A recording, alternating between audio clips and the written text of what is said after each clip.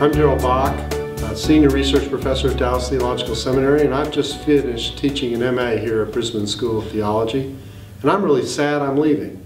One of the reasons I'm sad I'm leaving is because I know what the school has planned in the future. It has some terrific programs lined up for its MA, including Chris Wright talking about issues of mission and John Azumah talking about Islam. I can't think of two better qualified teachers to talk about these subjects than those two fine theologians.